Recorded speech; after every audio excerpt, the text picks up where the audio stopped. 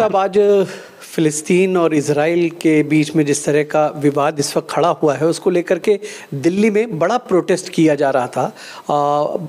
ख़बर यह है कि तमाम लोगों को गिरफ्तारियाँ कर ली गई हैं। हालाँकि सरकार ये कहती है कि हम फ़िलिस्तीन के साथ खड़े हुए हैं। दो तरह की प्रधानमंत्री कुछ कह रहे हैं, सरकार कुछ कह रही है। आप इस पूरी घटना को कैसे देख रहे हैं? मुझे लगता है कि हिंदुस्तान की गवर्नमेंट को ये एहसास ही नहीं है कि वो कर क्या रहे हैं। एक तरफ़ तो उनकी home ministry, foreign affairs ministry ये कहती है कि हमारा सबसे पुराना रिश्ता फ़िलिस्तीन से गांधी के वक्त से लेकर और अभी तक।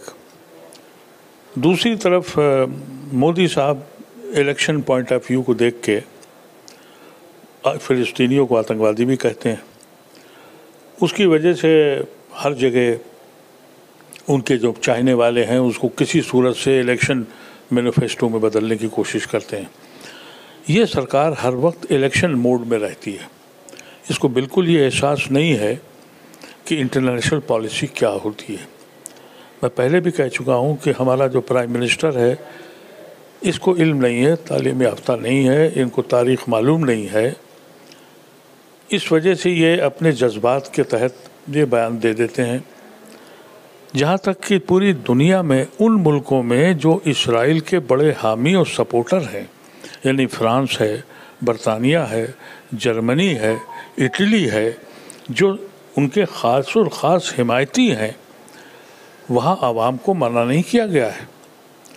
अमेरिका जो उनकी बाकायदा साथ में जंग में हिस्सा ले रहा है, और वो अमेरिका के बारे में ये कहा भी जाता है कि भाई इसराइल उसका नाजायज़ बेटा है।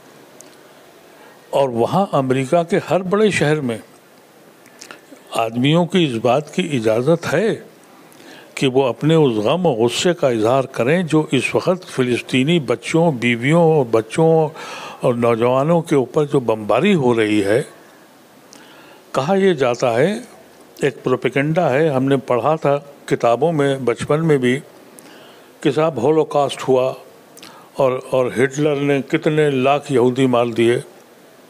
मुझे तो यकीन नहीं है कि इतना यहूदी उस ज़माने में था भी, क्योंकि यहूदियों की पॉपुलेशन तो बहुत थोड़ी सी है कि उनके यहाँ कन्वर्जन तो है नहीं। इनके यहाँ तो बाई बर्थ यहूदी होता है। तो बाई बर्थ इतने लोग कहाँ थे? अगर मार दिए गए थे, अभी भी कहाँ हैं? लेकिन ऐसा ख़तरनाक हमेशा तक कहा जाता है। मैं समझता हूँ कि इस सदी का जो सबसे बड़ा होलोकास्ट हो रहा है वो गाज़ा में हो रहा है। जहाँ आप सब तरफ़ से बंद करके, पानी, बिजली, खाना सब बंद करके, खुले आसमान के अंदर आप बम फेंकते रहें, अस्पतालों के अंदर बम मारें, जो कैंप यूएन के बने हैं, उसमें बम मारें। और ये कहें कि साहब, हम बच्चों को साथ कर नहीं रहे और इसमें कई कई ऐसे लोग निकले जो ख़ास तौर से बरतानिया का जो इस वक्त प्राइम मिनिस्टर है, वो अनफॉर्चुनेटली फॉर्चुनेटली हमारे हिंदुस्तान के का एक शहरी रहा है, उसके माँ बाप यहाँ के शहरी थे। वो इसराइल में जाके ये कहता है प्राइम के प्राइम मिनिस्टर के सामने कि साहब, हम आपको मुबारकबाद इसलिए दे रहे हैं कि आप सिविलियंस के साथ कुछ जाती नहीं कर रहे हैं। मैं समझता हूँ कि ये एक पूरा गैंग है जो इस वक्त मुख्तलिफ़ मुल्कों पर काबिज है, जो ये कह रहा कि ये मजलूम नहीं है। वो वो जो बच्चे जो माँ के पेट में मर रहे हैं, उनको भी वो आतंकवादी बता रहा है। संयुक्त राष्ट्र महासचिव ने इस चीज़ को लेकर के नाराज़गी जताई और कहा कि हमास जो कर रहा है, वो अपने सुरक्षा के तहत उस काम को कर रहा है। और जिस तरह से तमाम चीज़ें की गई हैं, पानी, बिजली, दवाएँ जो ब्लॉक की गई हैं इसे किसी कीमत पे एक्सेप्ट नहीं किया जा सकता है। इसे फ़ौर जो है ख़त्म किया जाना चाहिए ब्लॉकेज को। लेकिन इसराइल ने उसके बाद जो बा, बात कही है और सीधे तौर पे ये कहा है कि इन्हें हट जाना चाहिए और इन्हें जो है अपने पद पर बने रहने का कोई अधिकार नहीं है सेक्रेटरी जनरल को। उसको लेकर के क्या सोच रहे इससे आपको अंदाज़ा हो जाएगा कि यूएन की हैसियत क्या है कि एक एग्रेसर मुल्क जिसने दूसरों की ज़मीन पर कब्ज़ा किया हुआ है जिसने आज तक कोई भी रेजोल्यूशन माना नहीं है और आपको याद ही है कि यासिर अरफात ने एक एग्रीमेंट हुआ था ओस्लो एग्रीमेंट हुआ था। उसमें यह बात वाजह हो गई थी कि दो शहर, मुल्क बनेंगे और एक जो वेस्ट गाज़ा फ़िलिस्तीन का एरिया है, ये सब फ़िलिस्तीन की हुकूमत होगी। आज इसके भी दस बारह साल हो गए और उन जगहों पर जहाँ पर नए मुल्क की फ़िलिस्तीन की हुकूमत बनाने की बात थी वहाँ पर नई कॉलोनियाँ बनाई गई। और एक मेंबर सेक्रेटरी जनरल को ये कह रहा है कि आप इस्तीफ़ा दे दें। और और ये किस तरह की ऑर्गेनाइजेशन है? मैं समझता हूँ कि पूरी दुनिया एक्सपोज हो गई है और पूरी दुनिया को ये बात समझ में आ गई है कि हम इस मुल्क, दुनिया में हम ही पाँच सात लोग हैं जो हाकिम रहेंगे और वो करते रहेंगे। वर्ल्ड वार के बाद ये बड़ा बदनसीबी हुई। मैं उस वक्त नहीं समझ पाया था कि जब ये रशा डिसइंटीग्रेट हुआ और उस वक्त में मुझे ये लगा क्योंकि मैं अमेरिकन इन्फ्लुएंस में था कि चलिए साहब ये एक तमाशा ख़त्म हुआ लेफ़्ट के लोगों का और कम्युनिस्ट का। लेकिन अब ये अंदाज़ा हुआ कि रशा के ब्रेक के बाद इस दुनिया में अमेरिका अकेला गुंडा रह गया और उसका नाजायज़ फ़ायदा उठा रहा है। जहाँ तक कि गाज़ा की लड़ाई का मसला है, फ़िलिस्तीन की लड़ाई का मसला है, ये तो दुनिया को मालूम है कि वो निहत्ते लोग हैं, उनके पास बहुत महदूद दराएँ हैं। तो इसराइल जंगी तौर पर तो जीत जाएगा और वो जीतेगा भी, उसको क्या सभी उनके साथ हैं। अमेरिका ने अपने बेड़े लगा रखे हैं, अपनी फौज लगा रखी है। लेकिन मैं समझता हूँ कि इस इंसिडेंट के बाद फिलिस्तीन अपनी लड़ाई जीत गया है। और फतेह होगी। ये जो लोगों ने कुर्बानियाँ दी हैं फ़िलिस्तीनियों ने, चाहे वो हमास के हों या यहाँ के हों, उनकी कुर्बानियों ने फ़िलिस्तीन की एक नई स्टेट की बुनियाद रख दी है, उसको अब दुनिया रोक नहीं सकती है। और जहाँ तक कि ये अरब ममालिक हैं, इनकी चुप्पी और इनकी खामोशी, इनके अपने ही लोग या तो इनको गर्दियों से उतारेंगे और या फिर इनको मजबूरन कोई फैसला करना पड़ेगा।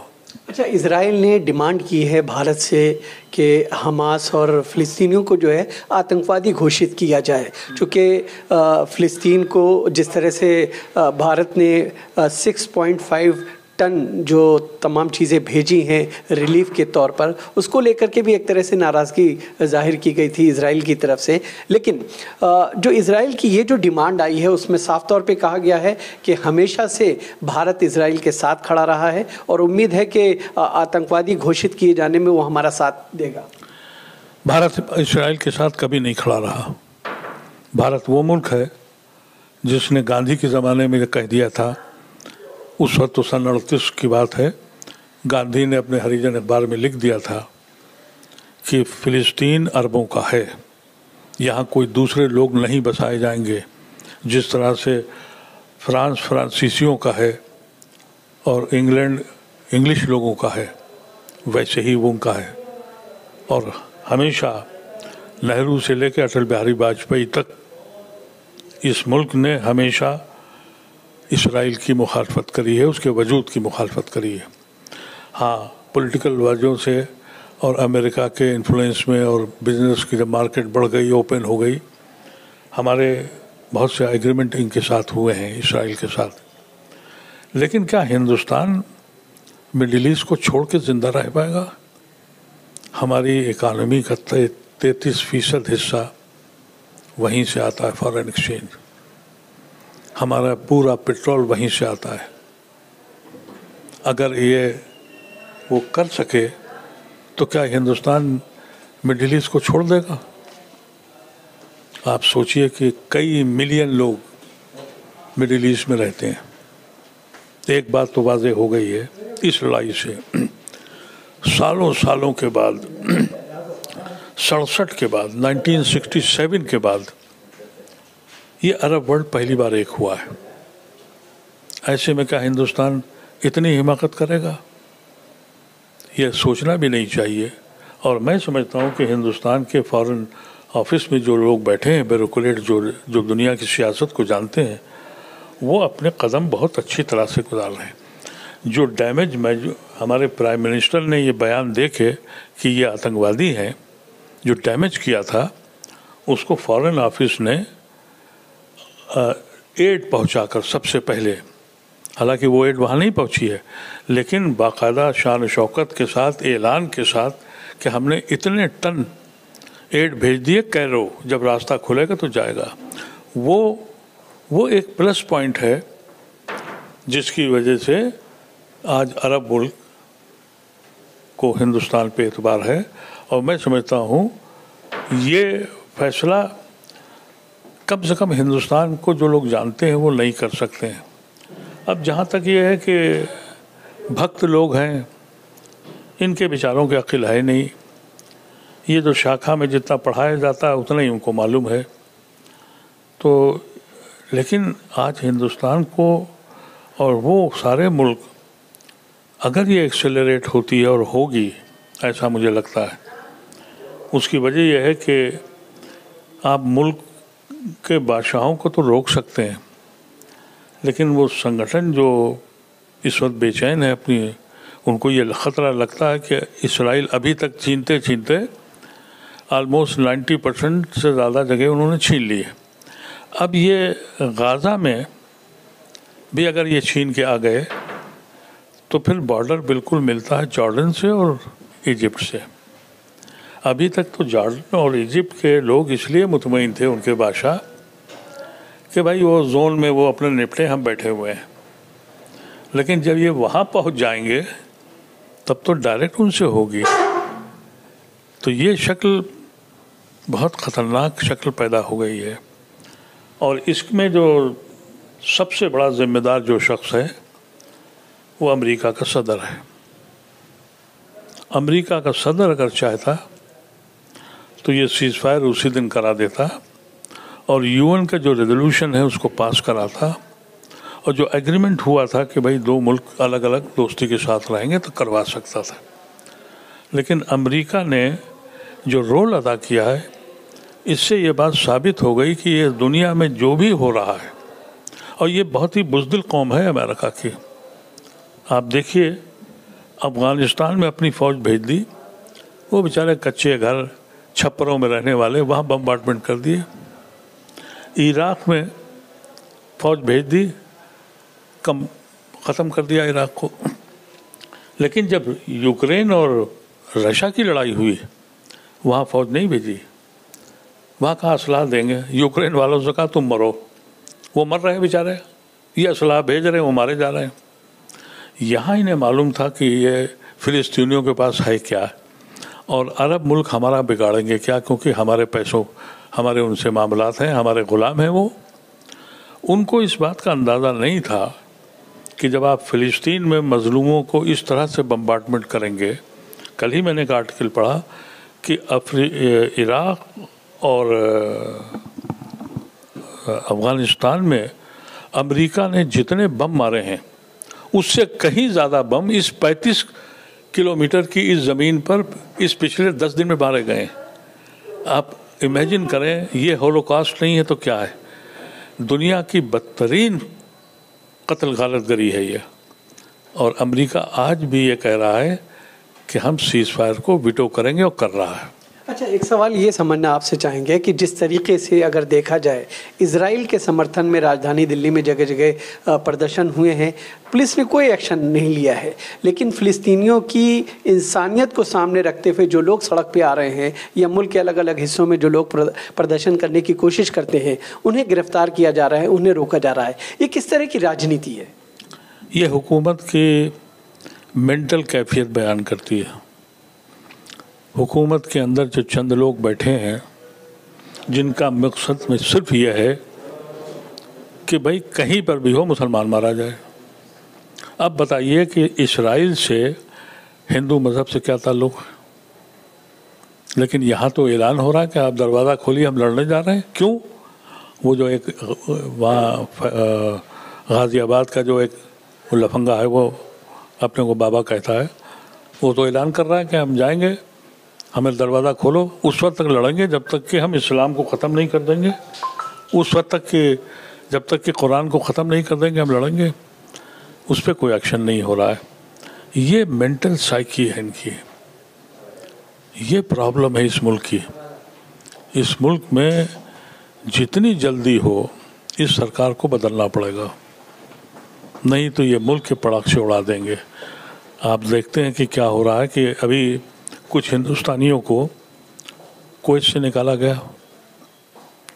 अभी कुछ को सऊदिया से निकाला गया। इसके असरात क्या हो रहे हैं? अब आप सोचिए कि क्या हम अफोर्ड कर सकते हैं?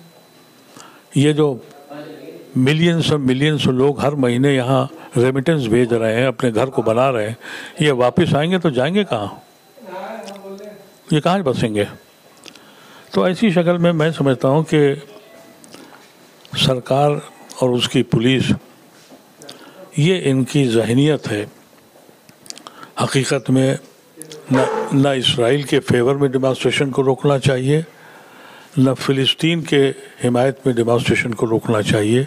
एक डेमोक्रेटिक कंट्री की मानी यही है कि आप अपने अपने ख्याल का इजहार ओपनली करें जब तक कि वायलेंस नहीं है। लेकिन ये मुल्क ना डेमोक्रेटिक कंट्री है, ना ही अपनी सेकुलर कंट्री है। कहने को तो सब है, और पेपर है, अगले इलेक्शन जीतने के बाद वो पेपर पे भी नहीं रहेगा।